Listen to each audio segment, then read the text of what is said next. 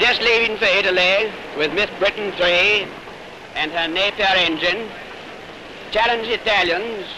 For the Italian sea mile record, sea mile record of Europe, the single engine boat's world record, Count Volpi Cup, and the Crown Prince of Italy's Cup. The Italians have sprung a last minute surprise with a secret boat that's got one of the Fiat engines in it that won the airspeed record for them. We don't know how fast it is or what it's like, but you can rest assured that we'll go out there and we'll do the best we can. At Michigan, American Army machines are ready to practice